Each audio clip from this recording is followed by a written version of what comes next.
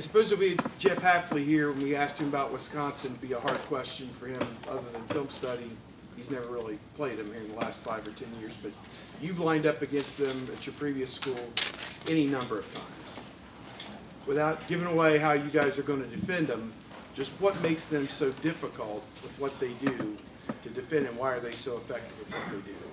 Well, in the first thing on that uh, with uh, Wisconsin, I, I grew up there, and I mean, I was born and raised uh, watching the Badgers, and uh, these. Uh, the one thing, uh, they're they're very well coached. This is a very very good coaching staff. They do a, a outstanding job. They recruit big, strong players up front for their system. Um, and now they've got some great skill also with it. So, um, you know, they're just a very, very talented team and, uh, and very well coached team, and they'll play extremely hard. I, don't wanna say he's better than anybody else they've had at quarterback, because it's all relative, but seems like he gives them a little bit more of a dimension, running the ball and throwing the ball than maybe some of the other guys they've had in the last five or ten years. Yeah, I mean he's he gets better every week too, and uh, he's a very he's a very talented quarterback, and uh, you know he's he's uh, a person we're going to have to definitely deal with. Third row right, Rob? Greg, you came here um, knowing it was a first-year coach that you're going to be working under. A, did that give you any hesitation at all? Uh, And B, how have you seen Ryan Day evolve from the day you got here to where he is? I assume there's been some growth. Uh, and the first question, no, there's there's no hesitation whatsoever. Uh, secondly, um, how has he evolved?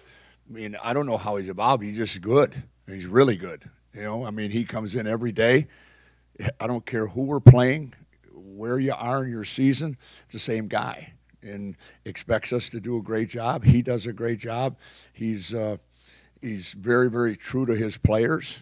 He expects his players to continue to be great character, great in the classroom, and great on the football field. And he demands that, and uh, nothing's changed, you know. And from the first day uh, till now, I mean, he's doing a tremendous job. And comfort level, though? I assume in any line of work, the first, first day is a little tougher than, you know, six. comfort level for For him, in terms of just what you see. I don't see it. I, I, I don't see any difference from the very first day till now.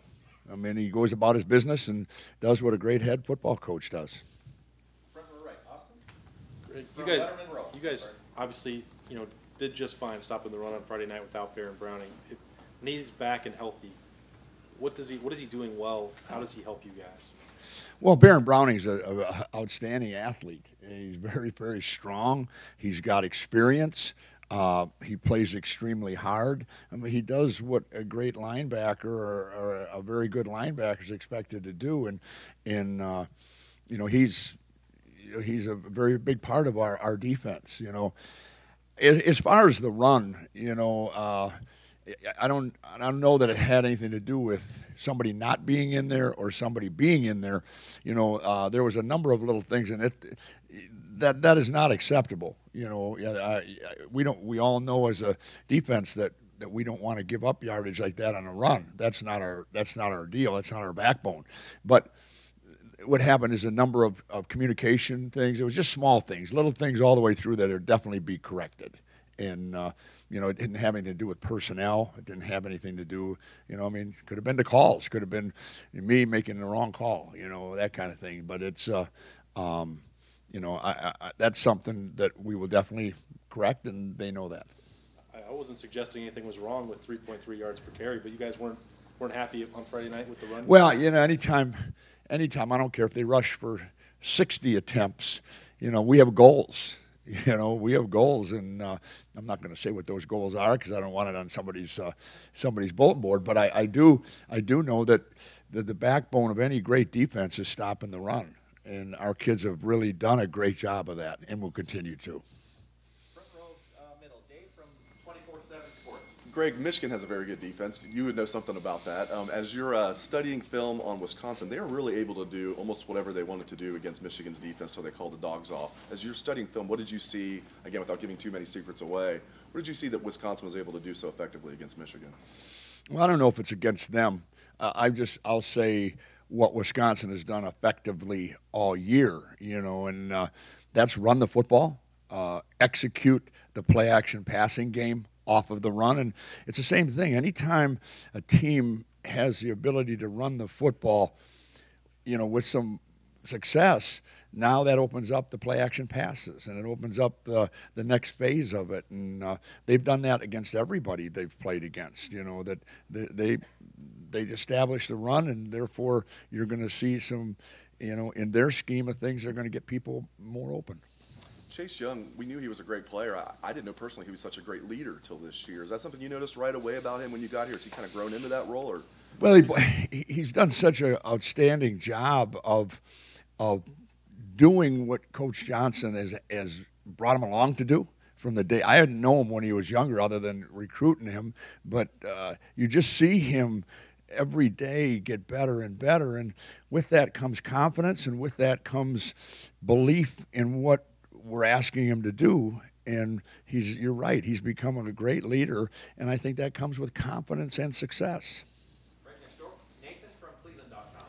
Taylor had, I think, 16 total receptions his first two years. I think he's already matched that this year. Just what added dimension does that bring as far as trying to defend um, him and them?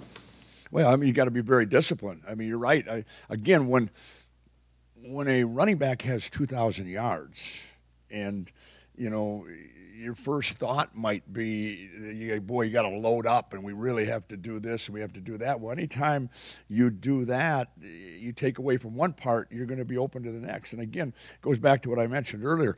They're very, very good coaching staff, you know, and they, you know, they see that. They see that, okay, this this guy has hurt some people running the football, and therefore this part of it should be off of that.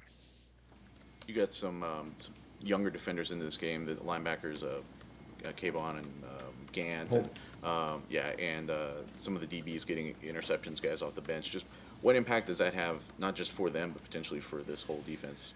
Well, and, and that that's a great that's a great question because if there's anything that our coaching staff and there's a lot of things we're very very proud of, but the thing that we were really really proud of and have been throughout this year is that late in the game when we have had you know a chance to be ahead the players that have gone in have treated it like it's zero zero. And, and we've made a big deal of that. And, and, and the guys that went in, we don't look at it as backups, you're in now. We look at it that you've worked really, really hard and you've earned the right to play now. And when you go in there and you represent Ohio State University, now we expect you to play at a certain level, and they've done that. And that was probably one of the, the, the, the things that we're the most proud of is how those young guys played. Third row left, Dan from 11 Warriors. You, you guys put in Josh Proctor, Amir Riep, Jahsen Wint, all in some different roles in the first half of Saturday's game. Kind of what are the different things that each of those guys bring that had you guys kind of working them into different packages? Well, they all they all had different roles. Like you know, one of them might be a better pass defender. Another one might be uh, a good pass defender, but also good size to play on the run. And another one might be all run. You know, and so therefore we, you know, in certain situations, it gave us the ability to, to be able to substitute people in, and and um, it was good for them and it was good for us. You've been asked about Brendon White a few times, but going into the year, a lot of people thought he was going to kind of be that guy who would play that bullet spot. Those guys got him the game over him. Just where is Brendon White kind of stack up in things right now? Well, again, you know, everybody keeps bringing, you know, that again. Uh, Jahsen Wint played three plays. Brendon White played 17 or 18. You know, it's the packages, and therefore, you see that eh, when Brennan went in, he, he had a very good game. He did some very good things, and so did so did Jay Wint. You know, and it's packages. It's different packages that the guys who have worked extremely hard to have the opportunity to play in. So you view it like instead of a depth chart, like one guy's ahead of the other, more like this guy's better in this different situation. Right. We have that ability to do that. You know, that to be able to plug people in to be able to do what's best for them and their abilities and what's best for our, our defense. Second row right, Tony. Greg, the um, You mentioned the play action pass and it's dangerous from Wisconsin. What kind of, uh, I guess, luxury or what does it do for you when you've got three lockdown corners against that type of offense? Well, it, it, it, it really, you know, to have our corners is a blessing. You know, there's no doubt about it. I mean, you'd really be, really be nervous if a guy's a, a really good, really very successful at running the football, and then all of a sudden, the next thing you, you, you do is you don't have guys that can cover one on one. You know, that's a, that allows you to do a lot more things, and uh, to be able to have our, have our secondary do what they have done is a real blessing as far as what we were able to call. And when, when you're in off coverage, does that make them more susceptible to that, to the play action as opposed to if they're just up there press man, not worried about the quarterback per se? Yeah, it is, but I mean, I think the biggest, you know, the biggest thing that goes with the coverage part of it is the great job that our defensive line has done putting pressure on the quarterback. You know, you can have the the best corners in in the world. If you don't get a pass rush, they're not going to look real good at the end, and then and vice versa. You know, you can be a really really good pass rusher, but if you can't cover, you have a problem with that also. And that's it's been, you know, I think our- I think our D line and our secondary have worked really well together to help each other. You know, and that's been that's been a blessing. Second row left, Steven? When you're game planning for an offensive player other than a quarterback, where they have like their best player is a skilled guy, is there a balance between okay, this guy's gonna get his numbers, or like maybe wanting to take him away and forcing like other guys on the offense to have a breakout game? No, no, I don't think you do that. I don't. I, I- I don't think we ever say we're going to give this up to take this away.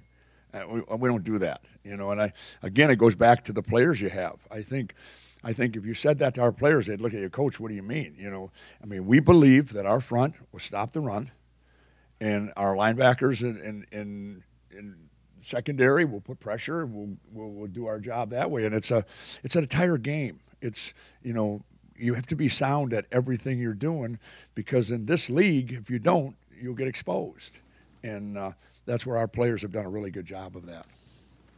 Folks, we're not gonna be able to get everyone in with, with coach, uh, cause I've got players starting to show up front row right, Bill. Yeah, uh, I know you'd love to win. Players are a lot more important, by the way. you know. Greg, I know you'd love to win every game 52-3, but how much excitement is there when you know you've got this kind of game this week after all of these blowouts? Is it, is it different? Oh, it's really. I mean, this is different because it's the eighth one. It's the next one. It's just really, really important to our guys. Uh, you could feel it the, when, when we all got together uh, Sunday. Um, they all know this is this is as big as it gets right now, and uh, there's there's great excitement. You know, I mean, uh, you know, we we have goals. Our our players have worked extremely hard from the start of winter conditioning to everything that they have done up to this point right now. This is the next one, and we don't want anybody to take away from what they're trying to achieve. And so this is the next team, and they're a very good team. And uh, so this is our next challenge. And one of the things that separates this Wisconsin team from past ones, they have a big-time wide receiver, Cephus. How much pressure does that put on a, on a defense? Well, yeah. Anytime you have a very, very skilled wide receiver like they have, but they got more than just him. I mean, he's really good, but uh, their tight end is a very good receiver also. Uh, and so you you now have offensive line, you've got a good tight end, and you've got a good wide receiver. We've got a very good defensive line, a very good secondary, and we're very excited about this game. Fourth row left, uh, Andy from the Lantern. Yeah, Coach. Um, with Tommy Togiai, we've heard for a while now that he's the strongest player on the team. But as the season gone, has gone on, it seems he's getting a bigger role and a, he's getting he's making more plays. What other part of his game has really come along to allow him to do that? Well, I think uh, it's like all of the defensive line, all of the linebackers, all of the secondary guys. I think you're trying the way they practice, and that is very that's very important. That if you came out and watch our guys, the way they practice, they're going to get better. And Tommy is one of them that practices extremely hard every snap. And when you practice like that, and you're taught by Coach Johnson like you're being taught, and then you get the opportunity to play, that's what happens. And we're really, really proud of him. I'm really proud of me because here's a young man that, that just continually works as hard as he can, keeps his mouth shut. When he, if he plays seven plays or he plays 18, 20, 25 plays, goes as hard as he can go. And that's kind of the stereotype of the guys on a defense that, that's fun to coach. And last question for Coach Mattison, and if somebody absolutely needs to grab uh, Coach Mattison afterwards, they can just grab him for a couple minutes right outside here because I want to get Tommy up here. Uh, front row right, uh, Joey from the dispatch. Wis- Wisconsin always has great running backs. Um, throughout the years, it's like when Mike Leach's teams always have a great quarterback. Um, but with Jonathan Taylor, is there something about him that's different than some of the guys that have run through there in the past? Well, first of all, I don't know if people realize that I think he ran a 10 4 uh, something. Uh, he was the state champ in uh, New Jersey in the 100. He may not look like that all the time until you see him break and see somebody try to catch him. The other thing, he runs extremely uh, physical.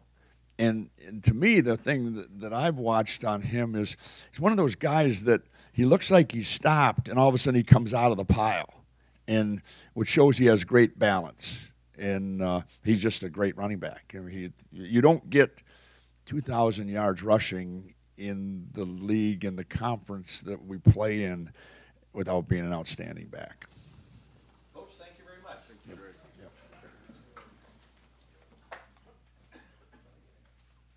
Thanks for watching. Subscribe below to get the latest videos from Lettermen Row. We got Lettermen Live, we've got the practice report, we got rapid reaction. Hey, and you know we got Buck IQ with Zach Bourne. For sure. We got recruiting breakdowns with Birm. We got whatever you need. Ohio State football and Ohio State athletics, we've got you covered here at Lettermen Row.